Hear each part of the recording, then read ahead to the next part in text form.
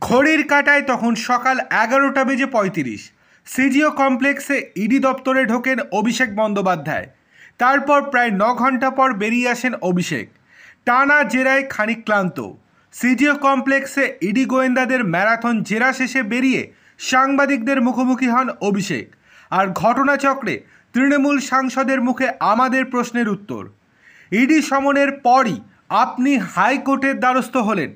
আপনি কি ভীত সন্ত্রস্ত? অভিষেক বন্দ্যোপাধ্যায়কে সরাসরি প্রশ্ন করলাম আমরা। আর এই প্রশ্নেই বড় বয়ান অভিষেকের। সাংবাদিকের প্রশ্নের মুখে অভিষেক বলেন, আমি হাইকোর্টের দ্বারস্থ হইনি। কালকে ওই কেসের হেয়ারিং ছিল। যেই কেস ফাইল হয়েছিল তিন মাস আগে, কালকে কেসটার হেয়ারিং ছিল। আমাকে নোটিশ পাঠিয়েছে দশ তারিখ। গত সপ্তাহে এটা ঠিক হয়েছে, বারো তারিখ হেয়ারিং হবে। নেতা আরও বলেন, আমি আলাদা করে কাল আবেদন করিনি। আর হ্যাঁ আমি ভীত সন্ত্রস্ত নই, এটা আমার অধিকার। আমি কোর্টে যাব না বলছেন আপনি? কোর্টে গেলেই আমি ভীত সন্ত্রস্ত, আর কোর্টে না গেলে? কোর্টে যাচ্ছেন না কেন? এত ভয়। কিছু না করলে কোর্টে যাক।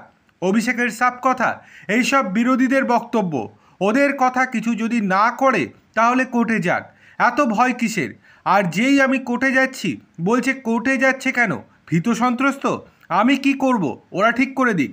এরপরই বিরোধীদের তোপ দেখে অভিষেক বলেন, সিপিএম কংগ্রেস মানে বাংলার সিপিএম কংগ্রেস আর বিজেপি, এই তিনজনকে অনুরোধ করব, একটা বৈঠক ডাকুন। অভিষেক বন্দ্যোপাধ্যায় কি করলে আপনারা খুশি হবেন, একটা জয়েন্ট বৈঠক করুন।